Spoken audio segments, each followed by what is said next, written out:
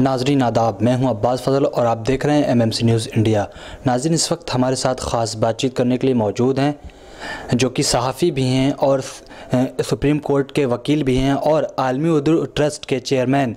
आलमी उर्दू ट्रस्ट जो जहाँ की किताबें भी छपती हैं। तो आज हम इनसे बात करेंगे आलमी वबा पर जो इनकी किताब छपी है पूरी मैगज़ीन उन्होंने छापी है। क्या है उस पर आखिर उस मैगज़ीन में क्या है? हम रहमान साहब से बात करेंगे। रहमान साहब सबसे पहले आपका बहुत बहुत खैर मकदम। शुक्रिया। रहमान साहब आपकी जो मैगज़ीन आई है इस आलमी वबा पर कोरोना पर इस पर आप क्या कहना चाहते हैं? क्या है इस मैगज़ीन में?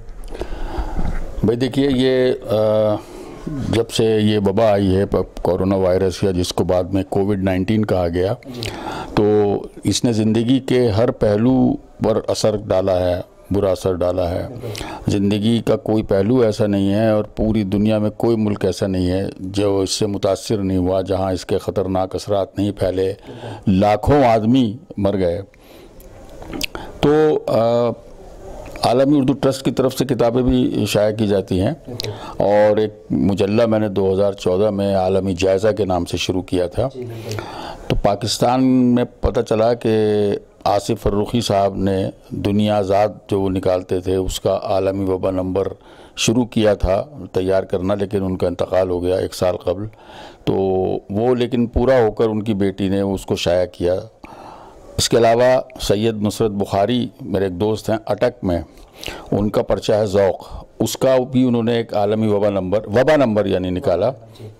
लेकिन हिंदुस्तान में ये काम किसी ने नहीं किया था, अब तक भी नहीं किया है।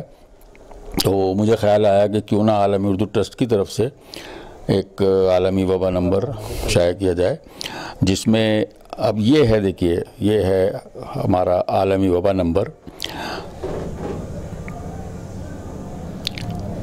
तो इसमें मैंने हिंदुस्तान के जितने सफ़े अव्वल के फ़िक्शन निगार हैं, अदीब हैं और शायर हैं, उनसे ये दरख्वास्त की कि इसके लिए आप अपनी तख्लीक़ात रवाना करें। और मुझे खुशी है कि तकरीबन सबने मेरी दरख्वास्त कबूल करते हुए मुझसे कलमी ताउन किया और इस हद तक किया कि ये 500 सफ़ात का बड़ा ज़ख़ीम ये नंबर बन गया। तो इसमें फ़िक्शन है यानी अफसाने हैं वबा के बारे में वबा के मौजू पर अफसानचे हैं गज़लें हैं नज़में हैं और सहाफ़ती मजामी हैं। क्योंकि और वो बहुत सारे हैं क्यों, क्योंकि मैं समझता हूँ कि सहाफ़ती मजमून जो है वो हालात हाजरा की सही और वाक़ाती अक्कासी बेहतर तरीके से करता है और इस इस लिहाज से देखा जाए तो ये वबा हिंदुस्तान में आई और पाकिस्तान में आई और यहाँ जो कुछ भी हुआ, जो वाक़ात पेश आए, जो सियासत हुई तो उन सब का एक अच्छा खासा ये दस्तावेज़ बन गया है। और आज से 10-20 साल बाद भी अगर कोई शख्स इसको देखेगा, पढ़ेगा तो वो समझ जाएगा कि उस वक्त क्या हुआ होगा, क्या हालात रहे होंगे। अमन साहब क्या लगता है आपको कि इस किताब को पढ़कर लोग आ, क्या सीख उनको क्या अगर आप जैसे कि आपने कहा कि 10-20 साल बाद ये किताब पढ़ी जाएगी तो लोग क्या लगता है कि क्या फ़र्क पड़ेगा उनको क्या सीखने को मिलेगा? भाई एक तो ये कि देखिए इसकी तारीख़ी हैसियत हो गई है। उस वक्त वो ये देखेंगे कि इस दौरान जब ये वबा चल रही थी तो किस किस्म का अदब तख्लीक किया गया? लोगों के क्या एहसास थे? किन लोगों की जो ख़ास लोग थे अदब के ख़ास तौर पर जो अहम शख्सियात थी उनकी वफ़ात हुई, कितने लोग फौत हुए और सियासी हालात क्या थे? हमारे यहाँ हुकूमत ने इस वबा के सिलसिले में क्या रवैया अख्तियार किया अच्छा या बुरा? इसके अलावा भी जो आम माशरती हालात हुए, अदीबों ने जो कुछ, देखिए, अदीब वही लिखते हैं जो माशरे में हो रहा है या जिसको वो महसूस करते हैं। तो ये चीज़ भी सामने आएगी कि अदीबों ने क्या महसूस किया और वबा से वो किस हद तक मुतासर हुए। तो ये सब एक तरह से एक दस्तावेज़ में कैद हो गया है और तारीख़ बन गई है। बिल्कुल। तकरीबन आपने जिस तरह से कहा कि कई अदीबों और लो, कई लोगों ने इसमें आपके साथ लिखा तकरीबन कितने लोगों ने इसमें शामिल हैं? आपको क्या लगता है? इसमें कमोबेश 112 लोग हैं जिन्होंने मुझे अपना कलमी ताउन दिया। और उनकी तख्लीक़ात हैं, नसर की और साफ़ती मजामी नज़में गज़लें, दूसरी चीज़ें हैं इस तरह की।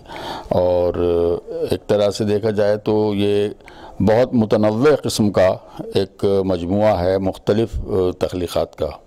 जिस तरह से आपने कहा कि सियासत जिस तरह से कोरोना के टाइम में की गई तो क्या जिस तरह से सरकार कोरोना के दौर में नाकाम हुई तो क्या उस बात का भी इसमें ज़िक्र है?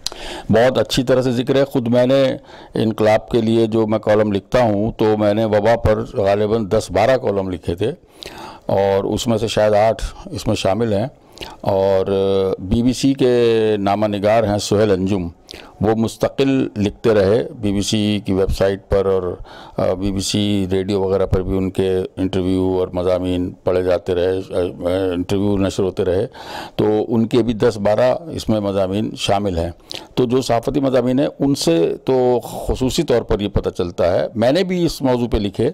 उन्होंने भी इस मौजू पर काफ़ी चीज़ें लिखी कि गवर्नमेंट का क्या रवैया है, कितना मनफी रवैया है और मिसाल के तौर पर जब लॉकडाउन किया गया तो जो बाहर बिहार, मध्य प्रदेश, यूपी वगैरह में काम करने वाले मज़दूर थे, उनको किस तरह बम्बई से दूर दराज स्टेट से सफ़र करके वापस अपने घरों को पैदल जाना पड़ा, उनकी वो तमाम मुसीबत, ये तमाम चीज़ इन तमाम चीज़ों का ज़िक्र इसमें है।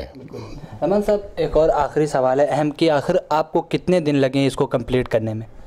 भाई ये बड़ी खुशी की बात है। आ, मैं बड़ी मसरत के साथ ये बात कह रहा हूँ कि इसमें मुझे ज़्यादा वक्त नहीं लगा क्योंकि जैसे ही मैंने इसका ऐलान किया तो आ, हमारी जो कौमी काउंसिल बर फ़रोग उर्दू ज़बान है उसके डायरेक्टर शेख अकील अहमद ने मुझे इसके लिए एक बहुत अच्छा पैगाम भेजा जो इसमें छप छपा भी है और उन्होंने अपना एक मजमून भी भेजा इसके लिए।